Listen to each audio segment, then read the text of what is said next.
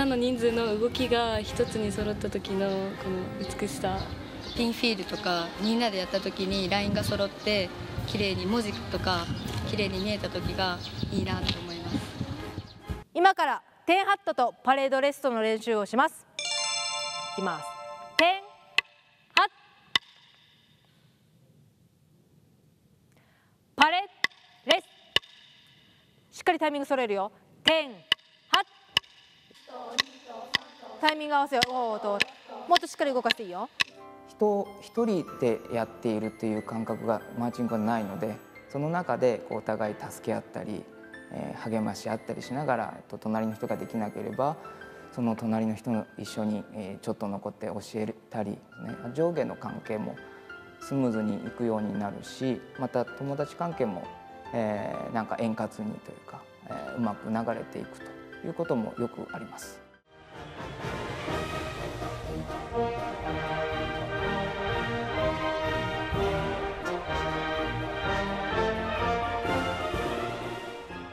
木管のトランペットのメメロディーなんですけどそれを、えーフロント前向いて演奏してみてください。ちょっと今のままだとねちょっとここの音が、あのー聞こえづらい、アピールしないので前向いて演奏するちょっとやってみましょし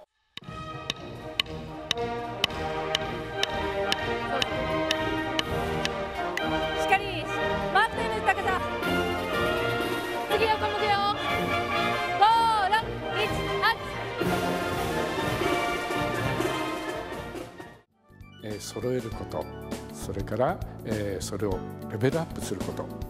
これは要するに音の世界音の世界は見えない世界で非常に感性っていうのをより高く要求されると思います。マーチングは視覚的に目で見えるものですから一人一人のメンバーが違いを早く察知できると思います。ただそれを要するに揃えることそれからレベルアップすることは全く音の世界と一緒のことだと思います。先生方もふるってご指導の現場に立っていただけたらと思います、えーぜひマーチングをトライしてください。